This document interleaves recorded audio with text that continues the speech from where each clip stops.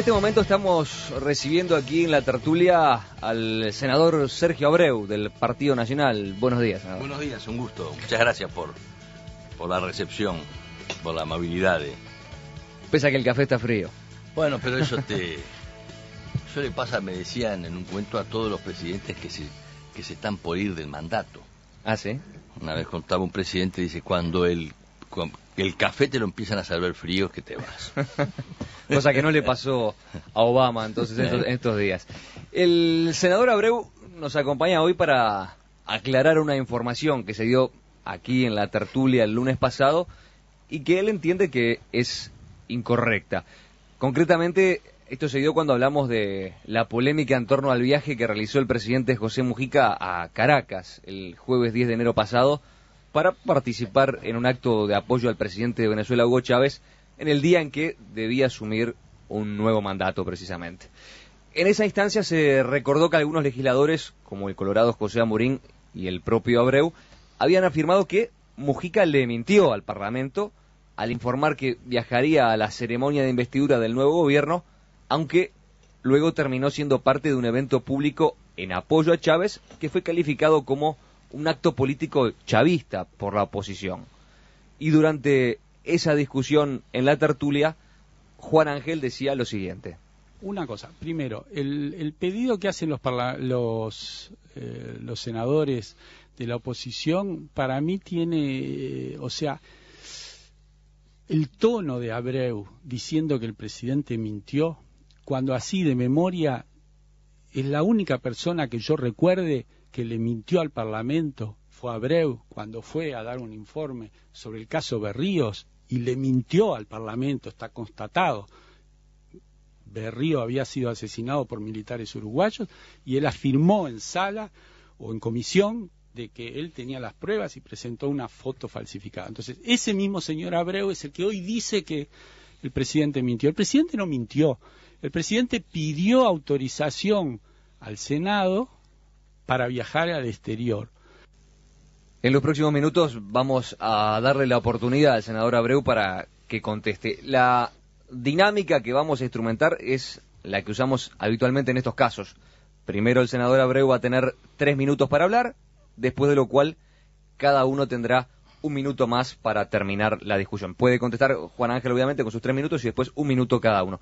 Senador Abreu, eh, empezamos con usted. Eh, muchas gracias. No, yo quiero hacer hincapié en un tema que una cosa es discutir sobre determinados hechos y otra cosa es afirmar que uno falta la verdad cuando se le quita la vida a una persona.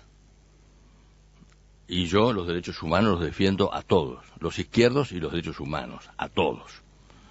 Entonces, simplemente yo era canciller, ni siquiera era canciller en el tiempo en que se produjo el episodio del 15 de noviembre del 2002, era senador, y en junio se crea un problema eh, de información mezclada. A mí se me da la instrucción para pedirle al canciller de Chile y al embajador si había militares chilenos en Uruguay. Se me contestó que no. Es decir, ahí sí se me mintió. Se mintió oficialmente por el gobierno socialista de, Chile. Y recibimos en el consulado de Italia una documentación con una carta del señor Berríos y una foto en la que estaba con acompañado del diario El Mensajero. Lo único que hice fue decir que era una fotocopia, porque además era una fotocopia, y la puse a disposición del Parlamento y nada más. Yo no certifico nada, ni tenía nada que ver en este tema, porque además el ministro de Relaciones Exteriores no podía estar en la inteligencia y en los problemas de esta naturaleza, que son mucho más complicados de lo que uno piensa. Porque después en el libro de Zabalza, Cero la Izquierda, el señor Zabal se dice, en esa casa nos reuníamos nosotros, con el señor Radaeli, con el señor Casella, este, Fernández Huidobro, Marinales, yo y el señor Mujica. Yo nunca le vi la cara al señor Radaeli, al señor Casella, nunca me negué a la extradición como hizo el senador Fernández Huidobro, no tengo ningún tipo de relacionamiento con eso, nunca tuve tuteos subterráneos este, de afinidades metálicas y mucho menos debajo de la Constitución. Así que simplemente lo que cumplió con mi deber. Lo que yo no admito es que se diga que se miente una persona sobre la vida de, los demás como si se estuviera ocultando un homicidio o cualquier otra violación de los derechos humanos de la que uno no participa ni directa ni indirectamente. Lo quiero decir con claridad, porque el presidente lo dijo en algún momento también, y yo se lo contesté, lo dijo el ministro Bonomi, también se lo contesté, y acá nadie me ha contestado que los únicos que conocían en esa casa eran el Movimiento de Liberación Nacional, que se reunía permanentemente con los que después, como dijo Zabalza, este, son los supuestos ejecutores del señor Berríos. Muy bien, Juan Ángel, tenés tu chance de responder, obviamente. Sí, a mí me parece es eh, traer eh, lo que pueda haber dicho Zabalza, yo no lo sé ni leí el libro, me parece una, una especie de pantalonada. Acá lo que hay un hecho es que el ¿Qué quiere decir gobierno... pantalonada? Una caricatura, una cosa de circo, me parece, más circo. Tal vez como ustedes están eh, entrando en, en campaña electoral, bueno, los minutos de radio y televisión les sirven. Sí, pero yo soy equilibrista, no payaso, Sí, bueno, por eso No hagamos una, una, una discusión, por A favor, mí me parece, a mí me parece que lo que sí está demostrado es que en su gobierno hubo eh, un incidente en torno a lo llamado, al llamado caso Berríos y cuando había una investigación tratando de, de- de- de desentrañar qué había pasado con Berríos, usted, su ministerio, donde usted era responsable, presentaron una prueba de que Berrío no estaba acá, ya no era más tema del Uruguay, para desinflar eh, el expediente. O sea, se construyó una medida de silenciar, basado en datos, en información y en una foto traficada. Eso era falso. Y eso sirvió para desinflar. Se desinfló hasta que X tiempo después apareció el cadáver de Berríos. Berríos estaba muerto. Y eso no lo puede discutir nadie.